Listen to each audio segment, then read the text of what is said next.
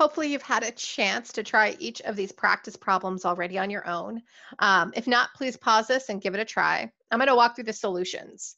So in this problem, we're really going to be calculating concentration in a few different ways. We're going to look at percent volume by volume, molarity, and parts per million. Um, and we're going to use mass for that one.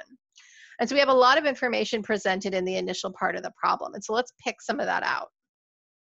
So we have 0.15 liters of our methanol, and it's added to 1.5 liters of our water, which is the solvent because we have more of it than we have of our methanol.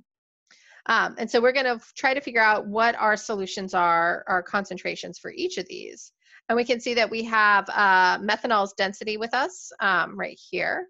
And we also have the density of water, which we're going to assume it's one gram per milliliter. So slightly above uh, room temperature is probably what we're looking at. All right, so let's start with number A. A is volume by volume percent. So let's remember what that calculation looks like. Um, so percent volume by volume is going to equal the volume of the solute divided by the volume of the solution times 100%.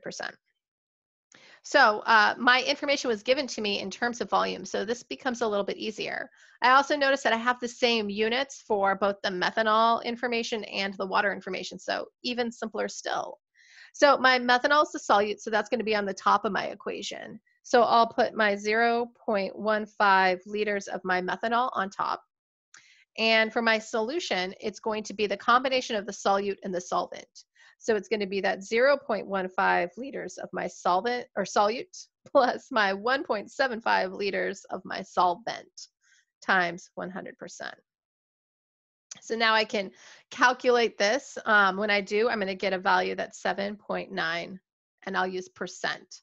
Uh, typically, we just throw the percent and you'll see it without any further units. You might also want to put in 7.9 volume by volume percent to let someone know that you calculated it based on volumes and that is the ratio that is being represented by that concentration. So pretty straightforward. All right, now let's look at molarity. So molarity is going to be equal to our moles over our volume, and our volume is going to be in liters. Sometimes I just like to write this as the units because I feel like it gives me a little bit more information and guides my problem solving strategy. So um, I don't know the number of moles I have at all. I do know the volume of my solution though. Um, I calculated that up there. That volume of my solution is going to be my 0.15 liters plus my 1.75 liters, which is going to be equal to 1.9 liters but I need to get to moles. So I'm going to start with my solute information that I do have. So for my solute, I have a volume of 0.15 liters. Um, the piece of information that I can use here is going to actually be the density. So for thinking about uh, like working backwards here, if I have liters and I'm trying to get to something that has moles, I would think through this as a dimensional analysis problem. I know I want to keep moles, so I would have that on top of my conversion, and I know I want to get rid of liters, so I would have that on the bottom. Now, looking at this, I, I don't have uh, any information about concentration really, right? Because that's what I'm solving for. So what do I know that has moles in it? Molar mass. So if I make this grams, so molar mass is something that I have that always has moles in it. It's a conversion factor.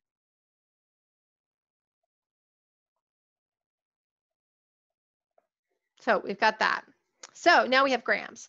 Now looking at the information given to me, I do have something that I know um, that goes in between grams and volume, and that is the density. So I can set up a conversion with grams on the top and milliliters on the bottom coming from that density that was given to me. All right, so now this just leaves milliliters um, I, that I need to get rid of, and I can do a liter to milliliter metric conversion. So now I actually have a plan, and it looks like my units will all cancel, right? I can check my liters will cancel, my milliliters will cancel, and my grams will cancel, leaving me with units of moles. So I'm going to put my plan into action. So to do that, there we go. All right, so I'm going to rewrite this. I've got my 0.15 liters. Now I'm going to do my liter to milliliter conversion. Every one liter has 1,000 milliliters in it.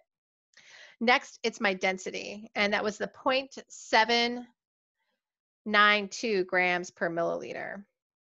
So I'm going to do 0.792 grams for every one milliliter of that solution of methanol or volume of methanol. And now I'm going to do molar mass. So I need to have my molar mass in grams per mole. I know it'll be one mole, and then I need grams. So for this part, I need to go to my periodic table. The chemical formula here is CH4O. And if I add up the mass of a carbon plus the mass of four hydrogens plus the mass of an oxygen, I'm going to get a molar mass that's equal to 32.042 grams per mole. So that one mole divided by 32.042 grams will be my last conversion factor. And now plugging this all in, I'm going to get 3.7076 moles of my methanol. And I started with two sig figs, so I'm going to underline the second significant figure to keep track of that. All right, so now I have my volume and I have my moles, and I can plug those both into my molarity calculation.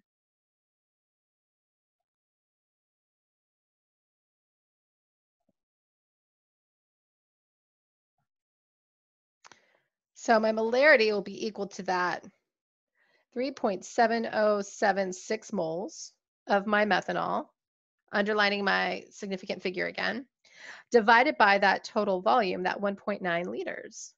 So when I plug that in, I'm going to get a value of 1.95138 molar. Um, and I'm only going to have two significant figures, right?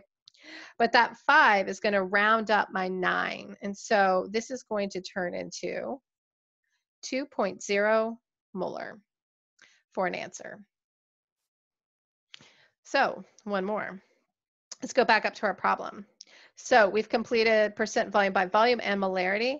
Now we need to go ahead and do parts per million by mass. So let's play around with that. So let's write out our equation for parts per million again.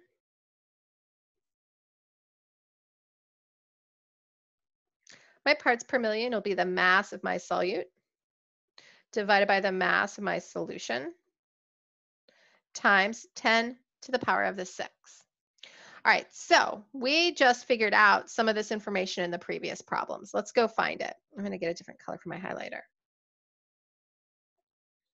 All right, so we really need that mass of our solution.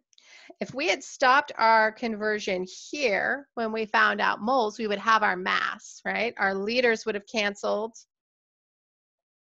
our milliliters would have canceled and we would have been left with grams. So we can use that information in our next calculation. Um, and so that would be the mass of my solute. And I don't have any information about the mass of my solvent. So let's start there. So my mass of my solute is equal to that 0.15 liters times 1,000 milliliters divided by one liter. And I'm just copying this conversion that I set up already, uh, but didn't, fin- didn't do this short of a calculation on. And then multiplied by the density. Now, when I plug these values in, I'm going to get a value that's equal to 118.8 grams of my methanol. All right. Now I need to figure out that mass of my solution. Um, and I won't be able to do that for each separate one, but if I can figure out the mass of my um, water, I can add it to the mass of my solute. So let's do that. I know that I have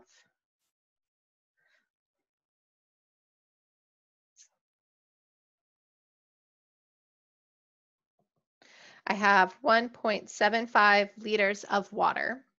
Um, and I'm going to do the same style of problem solving strategy for my solvent that I did for my solute. So I'm going to convert that into milliliters. So my 1000 milliliters divided by one liter. and I'll multiply it by its density. And we said we were going to assume the density is one gram per milliliter. And so plugging this value in, I'm going to get um, a mass that's 1750 grams of water. So now I have the mass of my solvent and the mass of my solute, which means I can figure out the mass of my solution. Because our solution is really just both the, the solute and the solvent. So it's the mass of my solute plus the mass of my solvent, which will be equal to that 118.8 grams plus the 1750 grams from my water. And bringing those two values together and summing them is going to give me um, a total of